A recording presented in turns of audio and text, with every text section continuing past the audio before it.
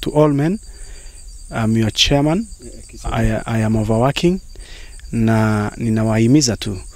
Tunaenda, tumeanza kuandaa hafla kubwa zaidi ambayo itakuwa mkutano wa pili wa wanaume utakaofanyika tarehe kumi na nne Februari mwaka ujao.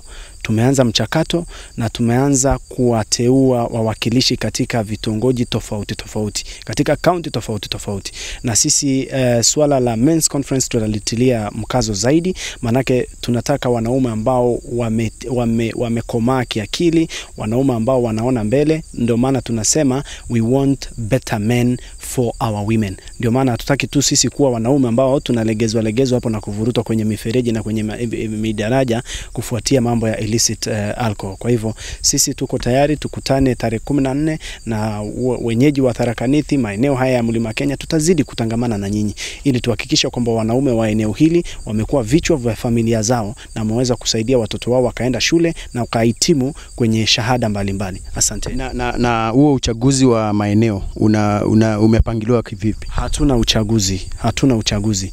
Men's Conference unapata cheo chako kufuatana na vitendo vyako kuwasaidia wanaume wengine. Hakuna uchaguzi. Membership ya Men's Conference inaanzia rais William Ruto ambaye ni rais, yeye ni mwanaume.